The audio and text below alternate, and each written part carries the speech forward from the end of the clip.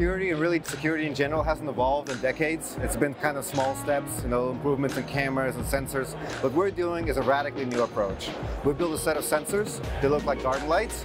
They act like garden lights. They work like garden lights. But in reality, they're very sophisticated motion and vibration sensors that you place around your property. They can detect people, animals, and cars coming and going.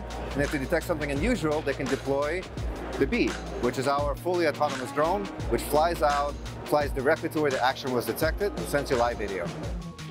This is a pre-production unit this has been about three years of development.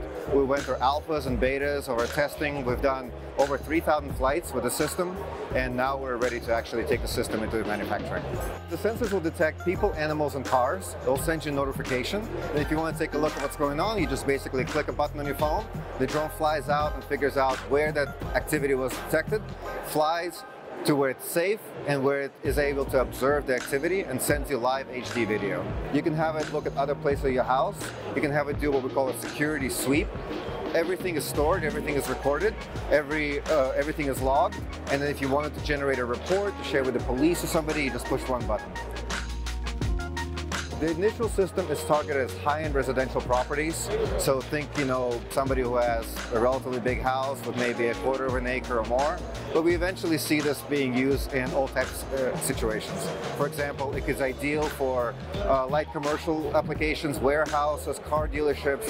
It is great for agricultural applications. It would be great for things like um, gated communities, vacation properties. Essentially, instead of installing many, many security cameras, you just have one of our systems and it can cover up to four acres of property at once.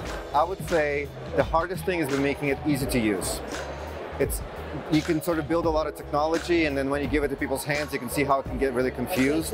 The app that we build, the experience that we put together, you know, we've let multiple people at the show just fly the system themselves without any instructions and they were able to figure it out. So I think that's one of our proudest accomplishments. So people tend to get irked out when they see like static security cameras at this point. Do you think that these things flying around can make people uncomfortable? Well, uh, yes, it's sort of intended to, right? If you're in somebody's property and the drone flies out to look at you, you know, we want you to be somewhat intimidated. However, if you're the owner, it flying around really hasn't bothered anybody. It, it has, it makes kind of a soft humming sound. Um, you know, it looks cute. Uh, it's kind of fun. Most people use it just a lot to just take pictures of their friends, parties, and so forth. So we want it to be friendly. We want it to be fun. But again, if you're on somebody's property and the drone flies out, starts following you, you know, you're probably going to get out of there.